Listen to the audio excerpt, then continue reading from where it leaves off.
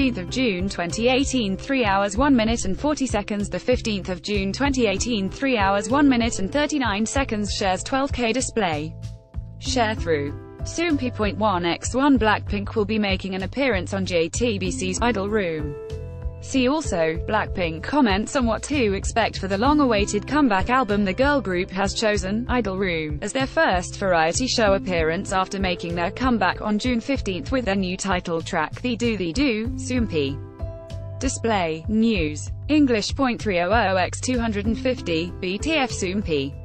Mobile. English English.300x250, ATF Blackpink had previously had great chemistry with Idol Room, MCs Jung Hyung Don and Defconn when they were on Weekly Idol, so many are interested in what will go down during the reunion on a new show. Blackpink is said to have even brought black and pink toilet paper to the show, based on a Korean tradition that giving toilet paper as a gift is the equivalent of wishing someone good fortune. Fans will be able to see Blackpink reuniting with Jung Hyung-don and Defconn on June 23 at 4.40 p.m. KST on JTBC. Source 1, shares 12k display. Sharethrough. Soompi.1x1 mobile web.